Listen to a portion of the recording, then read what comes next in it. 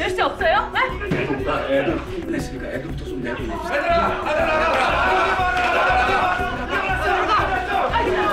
영민아! 오영민! 아, 제, 제가 오영민이죠? 오영민이 엄마한테 빨리 연락해요. 애들 하라고. 어머, 제 정상아니네. 교감생, 어머님들 모시고 빨리 나가시고. 예. 조영민 학생 좀 진정하고. 야!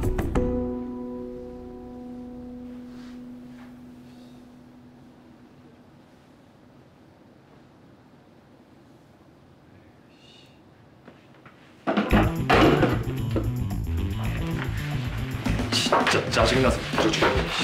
야 나와 나와 이쪽으로 나와 야 임마 야야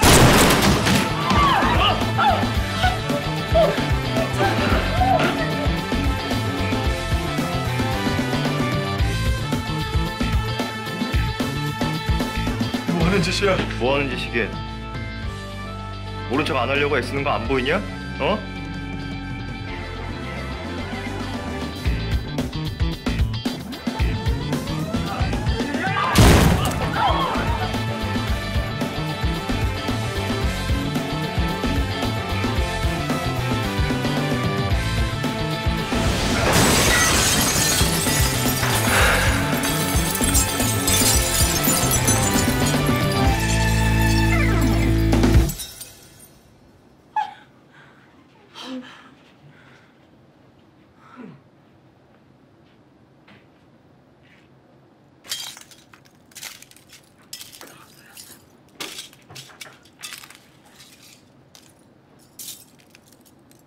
야 오영민 한말리가 이런 말을 했어.